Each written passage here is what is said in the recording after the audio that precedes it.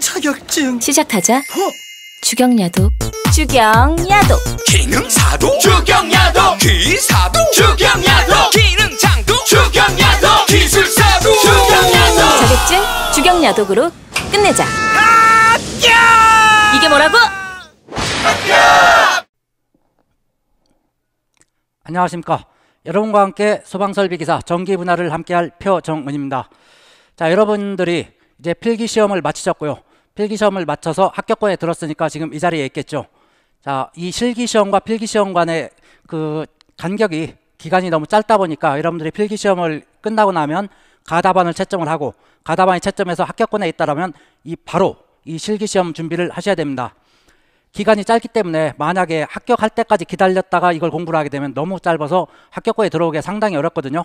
그래서 바로 바로 여러분들이 채점을 해서 이 실기 준비를 해 주시기 바랍니다. 이 실기가 합격률이 약 한 30% 정도 되기 때문에 그렇게 녹록하지가 않습니다. 여유 있게 공부해 가지고는 그 불합격할 확률이 아주 높죠. 그래서 이 공부를 할 때는 처음에 이 이론 부분, 이론 부분은 아 이런 것이 있다라고 할 정도로 그냥 보고 넘어갑니다. 넘어가고 자 본격적인 공부는 기출 문제죠. 기출 문제를 약 10년 거세 번, 최소 세번 정도는 공부를 해 주셔야 됩니다. 그 10년 거 세 번이 상당히 어렵다라고 판단될지 모르겠지만 그렇게 어렵지 않습니다. 최근 거부터 보고, 보기 시작해 가지고 약 5년 정도 가면 이제 중복되는 것들이 50% 이상 나오게 됩니다. 그래서 이제 한 7년 정도 가면 한 6, 70% 자, 중복이 되기 때문에 그 뒤에 가면 금방금방 넘어가겠죠. 처음 볼 때 한 번이 어렵지 두 번, 세 번 보는 건 그렇게 어렵지 않습니다. 그리고 여러분들 시험장에 가서는 꼭 빈칸을 절대로 남기시면 안 되는 거예요. 어떤 식으로라든지 빈칸을 꼭 채우셔야 됩니다. 물론 공부를 하나도 안 해서 거의 다 빈칸이라면 그냥 나와도 되겠죠. 하지만 내가 합격권에 있다라고 생각했을 때는 빈칸을 남기고 나오면 빵점이겠죠. 하지만 거기에 그 무엇인가 쥐어 짜고 짜고 짜고 해가지고 또 쓴다라면 부분 점수를 약간이라도 받을 수가 있다라는 겁니다. 그래서 대부분 불합격 하시는 분들이 58점, 59점에서 불합격을 합니다. 합격하시는 분들은 60점, 61점이에요. 물론 높은 점수도 있지만 그 부분에 많이 몰려 있다라는 겁니다. 그 61점, 60점 나오신 분들은 끝까지 시험이 끝날 때까지 남아 가지고 있는 지식 모든 걸 동원해 가지고 쥐어 짜고 짜서 짜서 그렇게 해서 시험 답안에 무언가를 적으신 분들이라는 거죠. 그래서 부분 점수를 1점이라도 더 받는 것이 아주 중요하다는 겁니다. 예를 들어서 무언가를 다섯 가지 써라. 뭐 설치 기준을 다섯 가지 써라라고 했을 때 여러분들이 생각나는 게 네 가지밖에 없다. 그럼 네 가지만 쓰고 나오시면 절대 안 된다는 거죠. 무조건 다섯 가지를 써야 됩니다. 어떤 식으로든지. 어떻게? 정 안 되면 자 1번에 썼던 걸 5번에 한 번이라도 더 쓰는 겁니다. 이건 우스갯소리가 아니고 그렇게라도 하는 그런 노력을 기울여 줘야 된다는 거예요. 그리고 전혀 모르는 문제가 나왔다고 해도 그 강의를 듣거나 뭐 하면서 그 주위에 배경 지식 같은 것들을 이제 언뜻 듣는 것들이 있죠. 자, 그런 지식들을 아주 그냥 어떻게 해도 비비고 비비고 비벼서 그냥 써 주시기 바랍니다. 꼭. 그래서 최소한 부분 점수 1점이라도 받을 수 있게 꼭 그렇게 답안을 작성을 하셔야 돼요. 자기가 생각했을 때 나는 양심적으로 그런 거짓말을 못 쓰겠다. 라고 하, 하면 어쩔 수 없겠지만 그래도 쓸 수 있도록 노력을 하셔야 된다는 겁니다. 그게 주관식 문제 그게 그 푸는 방법이에요. 아주 중요한 부분입니다. 꼭 그렇게 해주시기 바랍니다.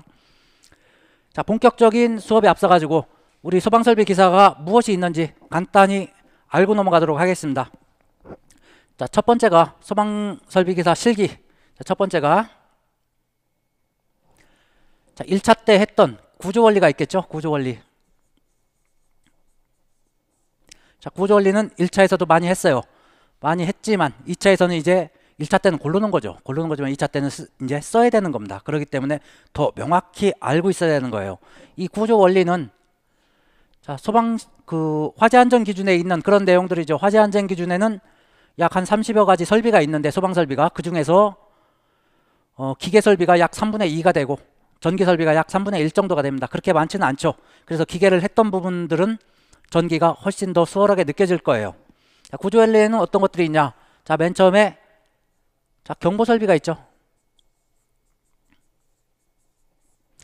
가장 중요한 부분이죠. 화재가 나면 경보를 해주고 사람이 피난을 하게 만들어주는 거 그것이 경보 설비죠. 경보 설비의 종류에는 자 음, 비상 경보 설비가 있고 비상 경보 설비 또 여기 또 여기에 단독 경보용 감지기 단독 경보용 감지기가 있고요.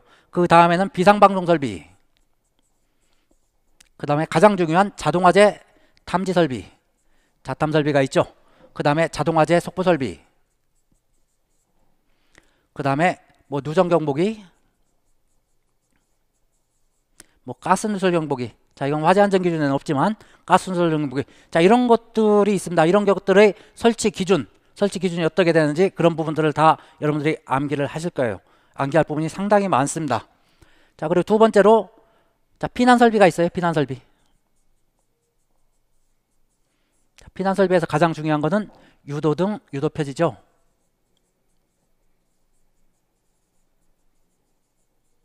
자, 유도등 설비가 가장 중요한 부분이고요. 피난 설비에서는 물론 피난 설비 이제 기계 설비에서는 피난 기구도 있고 인명 구조 기구도 있죠. 자, 그거는 기계 쪽으로 넘어가고요. 전기에서는 거의 나오지 않으니까요. 전기에서 나오는 거는 유도등, 유도 표지하고 또 비상 조명등, 비상 조명등 설비가 있겠죠. 자, 이런 부분의 설치 기준하고 자, 배선은 어떤 식으로 이루어지는지 그런 부분에 대해서 알아볼 겁니다. 그리고 그 다음이 어, 소화 활동 설비. 소화 활동 설비가 있는데 소화 활동 설비에는 뭐 제연 설비, 연결 송수관, 연결 살수 뭐 이런 것들이 쭉 있는데 그런 것들은 대부분 기계 설비이기 때문에 전기에서 나오지 않죠. 전기에서 나오는 것들은 비상 콘센트 아주 많이 나오죠. 비상 콘센트 나오고 그 다음에 무선 통신 보조 설비 무통 무통이라고 하죠. 자 이런 것들을 공부하게 될 겁니다. 구조 원리에서는 자, 이 부분이 상당히 암기를 많이 해야 되는 부분들이에요. 단답이나 가로치기 뭐 이런 것들이 상당히 많이 나옵니다. 그리고 두 번째 자 가닥수 배선이죠 배선 배선 문제가 상당히 중요합니다. 자 구조 원리가 한 40% 정도 나온다고 치면 이 배선 문제가 약 30에서 한 40% 정도 뭐 이 정도 나올 겁니다. 그 배선에는 가장 중요한 이 자동화 재 탐지 설비의 배선 자탄 배선 아주 중요한 부분이죠. 자탄 배선은 최소 일곱 가닥부터 시작해서 어떻게 쭉쭉쭉쭉 나가는지 그런 부분에서 대해서 알아보고요. 그 다음에 그 다음에 가스계 소화 설비, 가스계 소화 설비, 이산화탄소, 하론, 뭐 청정, 뭐 이런 것들 그런 것들에서 배선은 어떻게 이루어지는지 그런 부분을 알아보고요. 그 다음에 스프링클러 설비 중에서 습식이 있고 준비 작동식이 있죠. 자, 준비 작동이 어렵기 때문에 준비 작동식이 상당히 많이 출제가 됩니다. 그래서 이 부분도 알아보도록 하겠습니다. 그리고 세 번째가 두 번째가 배선, 세 번 세 번째가 자 논리외로 시퀀스 시퀀스가 있겠죠. 자, 이 부분이 약 한 10% 내외가 출제가 됩니다. 그 논리외로 시퀀스에는 어, 뭐 부울될 수도 있고 그리고 이 시퀀스에서는 뭐 y 델타, y 델타 기동 회로가 있고 뭐 직익 기동. 자, 그리고 논리 회로, 뭐 논리 회로에 대해서 조금 뭐 구체적으로 알아보도록 하겠습니다. 그리고 4번, 네 번째는 기타 계산 문제.